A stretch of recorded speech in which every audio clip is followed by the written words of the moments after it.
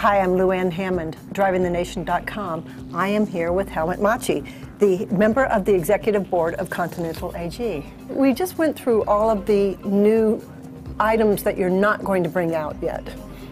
And it will take another two to three years to bring them out. You've got to look that far in advance to figure out what all of the car companies want. Do you do that by talking to them, or do you go outside of the car companies to do that? And we look on the one hand to the car manufacturers, but also we look to the outside industries. And therefore, CES is for us such an important manner. So we are participating already the ninth time because we get here a lot of information. And uh, for us, it's the mixture between automotive industry and consumer electronics. We all have iPhones now that we bring into cars. And if we're integrating those iPhones into the car, they could also become a problem. But you're working with Cisco on making maybe firewalls and segregating those things so that they're not an issue? Data security is for us playing a major role.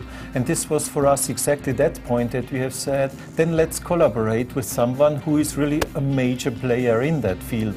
And so with Cisco, we have this advantage of continuously staying state of the art concerning data security. You said holistic HMI. And what you're trying to do is to bring down the cost of everything bring it into one area, but make it worth more because there's a synergy involved. Would that be accurate? Yeah, our strategy is we inform you well, we connect, and all at lower cost. And so this we inform you well, this means exactly about driving HMI. Today's HMIs are very static.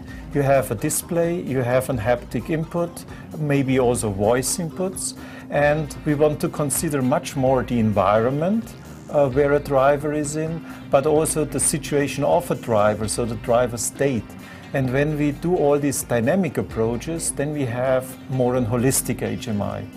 When we take all the information what we have embedded in the vehicle from powertrain systems, from chassis systems, from interior systems, then this is only the embedded part.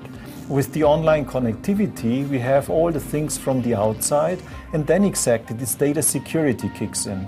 So therefore, taking care that data are secure, state-of-the-art, like at banking systems. Helmut, thank you very much. Thank you very much, Lynn.